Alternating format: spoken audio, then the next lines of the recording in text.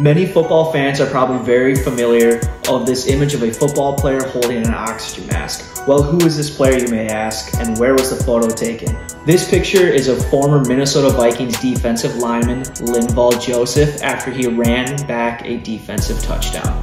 For this week's installment of Football Friday, I'm so happy to share with you a Linval Joseph autographed 8x10 photo. I got this photo signed in Mankato, Minnesota, where Vikings training camp used to be held, and I'm really happy I was able to meet Linval.